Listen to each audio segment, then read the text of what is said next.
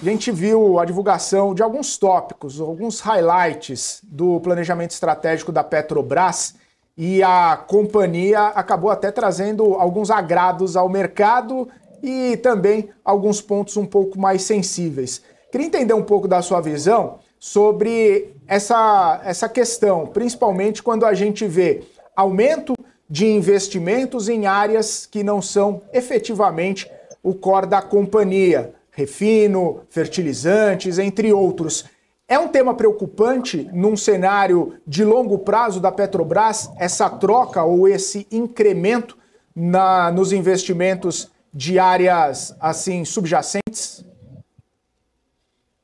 Olha, Felipe, exatamente como você colocou, né? Acho que a gente acompanhou algumas semanas atrás o balanço da Petrobras, que veio muito em linha, até um pouco melhor do que o mercado esperava. Né? A companhia teve uma geração grande de caixa, aumentou sua produção de petróleo, ou seja, os números vieram muito bons.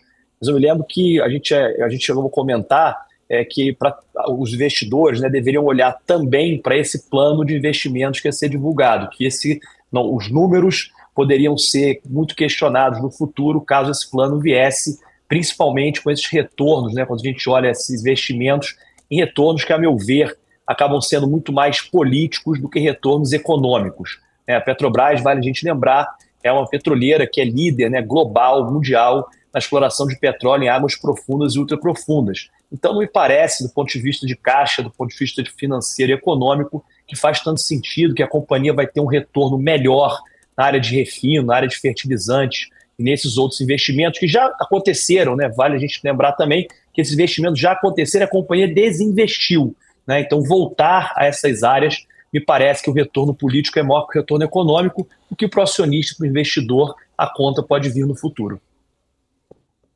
Ô Pedro, parece que o que animou os investidores foi a questão do dividendo mesmo com esses pontos mais sensíveis, com essas dúvidas ou talvez até questionamentos a respeito do futuro da companhia, dividendos acaba sendo um atrativo importante. O que você viu desse planejamento é, satisfaz o ímpeto dos investidores em relação aos investimentos, ou pelo menos tira as dúvidas que existiam a respeito sobre essa, esse tipo de alocação dos recursos?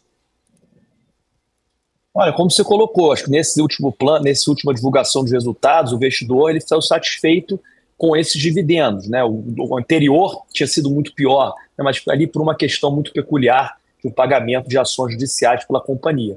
Mas eu acho que se você olhar o futuro, né, olhar a alocação de capital que a companhia está fazendo, eu acho que o investidor deve ficar preocupado. Porém, vale a gente lembrar que a Petrobras é uma empresa produtora de petróleo. Então, muitas vezes, quando o petróleo está muito alto, né, o câmbio muito alto, é, a companhia acaba tendo uma geração de caixa tão absurda que às vezes o próprio investimento com retorno político ele acaba não sendo, não tendo um impacto tão grande e o investidor acaba olhando, não, eu continuo, continuo recebendo dividendos. Porém, independente do dividendo, me parece que esse tipo de investimento, na minha opinião, né, vai contrário a essa, a essa política né, de um retorno maior econômico no futuro. É, poderia se distrair, mas no futuro pode se continuar distribuindo dividendo? Pode mas talvez se não tivesse esses investimentos ou investimentos com retorno de capital maior do que o investimento em refino ou em fábrica de fertilizantes, o investidor poderia ter um dividendo maior ainda.